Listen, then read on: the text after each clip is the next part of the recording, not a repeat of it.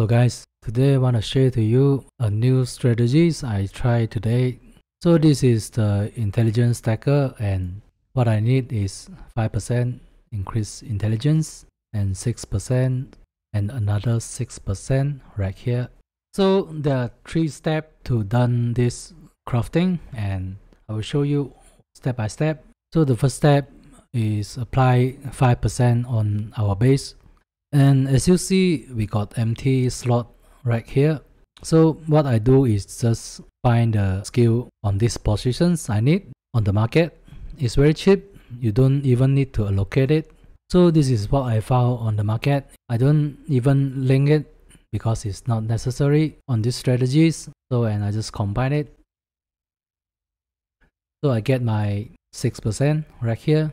And I keep my 5% and I get my 6% and we got empty slot right here. We got nothing on this skill so what I do is just find the base like this strength int 6% and we allocate our 5% and 6% is higher chance to keep.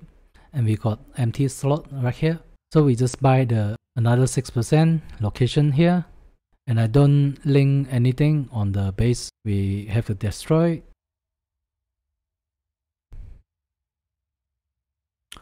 so now we got what we want. We got 5% we got 6% we got another 6% right here.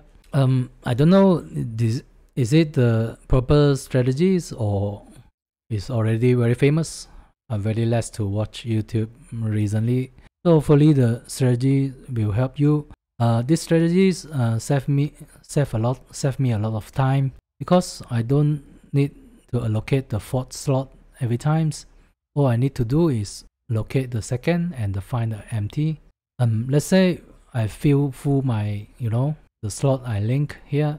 So I will just basically remove the trees and apply it again and again. So if I need something else on my, I'll just find something I need on these positions but I don't know yet. Maybe I'm lucky.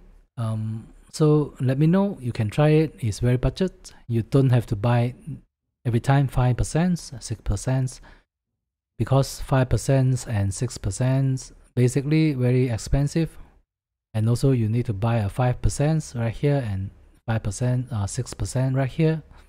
Yeah, it's basically very expensive. There are not many base like this on the market. So this is the video today and hopefully it helped. See you guys in the next one. Goodbye.